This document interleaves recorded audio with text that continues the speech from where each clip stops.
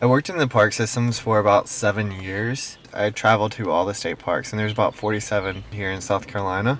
The reason why I love Sesquicentennial State Park, or Sesqui as they call it, is how close it is to the USC campus. Sometimes it's nice to get out and enjoy nature and just have some peace and solace in my life. There's such a variety of people there at the park, and everyone's so friendly and welcoming.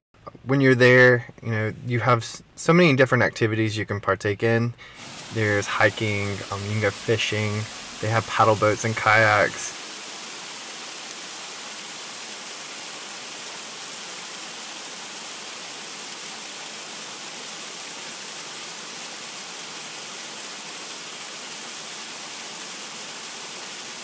It's a nice little spot.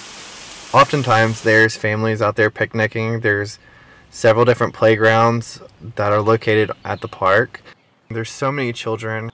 I also love that there's usually photographers around the park, so it's always interesting to see what they're shooting with and what kind of tricks and tidbits they can provide.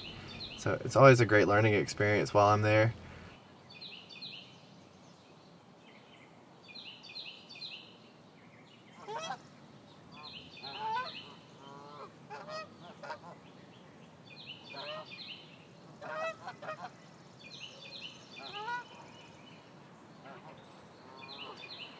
I find that a lot of people don't realize that Sesqui State Park is there.